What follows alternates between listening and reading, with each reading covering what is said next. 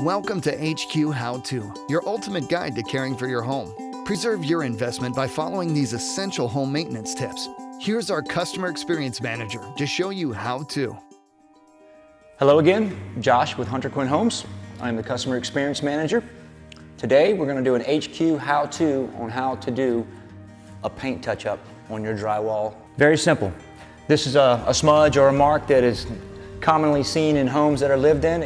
You will want to grab some matching paint, either provided to you from your builder or bought at your local paint store. Now there's two types of repairs. This is what I would consider a small minor repair or paint touch-up.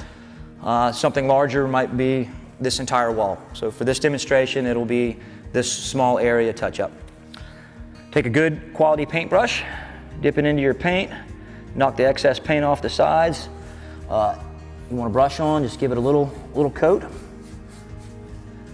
You want to let this dry. If you can see, there's a slight color differentiation between the dry paint and the wet paint. This will disappear as the paint dries. It may require more than one coat for you to fully cover your smudge or mark that you're trying to cover.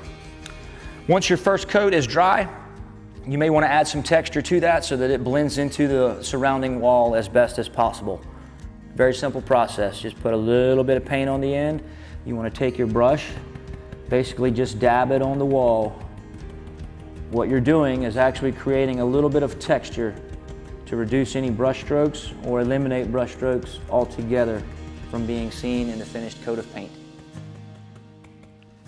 Another thing you can try, if you do not have access to a paint and paintbrush, you can try a magic eraser. Um, I do hear that those have great success on certain stains. Thanks for watching today. We look forward to sharing more home maintenance tips on the next HQ How To.